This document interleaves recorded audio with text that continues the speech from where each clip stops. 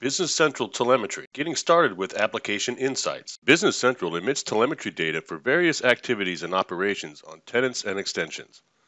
Monitoring telemetry gives insight into activities and tenant health, so you can analyze operations and diagnose problems that affect performance and, ultimately, impact business.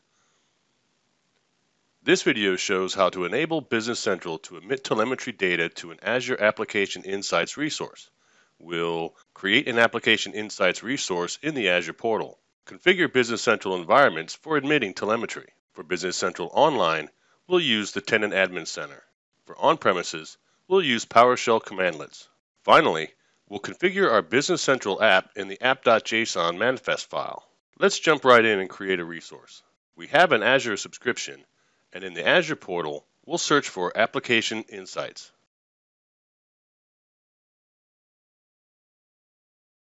On the Application Insights page, we'll choose Create and then enter some details about our subscription and resource group and provide a name for the resource. We can choose between a workspace-based Application Insights or a classic Application Insights resource.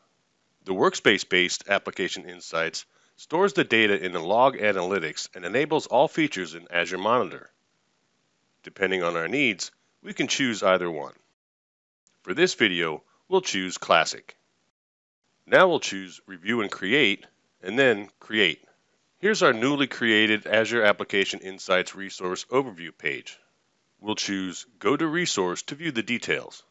At the top right, there's an identifier called Instrumentation Key. We'll need this key to be able to write data to Application Insights, so we'll copy it by clicking the copy icon next to the value. We can enable Application Insights on an environment or extension level. This video focuses primarily on enabling application insights for an environment, but will also briefly show how to configure the app.json manifest file for an extension. Let's configure our Business Central Online environment to emit telemetry to our Application Insights resource. In our Tenant Admin Center, we'll choose the environment and click Application Insights Key. This opens a dialog where we'll paste the instrumentation key we copied from the Azure portal. Saving the instrumentation key will restart the environment, which stops all user and background sessions. So we should probably do this at a time when this will not impact our users, for example, after working hours. It takes around 5 minutes for the environment to get back online. After the instrumentation key is saved, the value is displayed in the Environment Details section in the Tenant Admin Center, and the environment will emit telemetry to Azure Application Insights.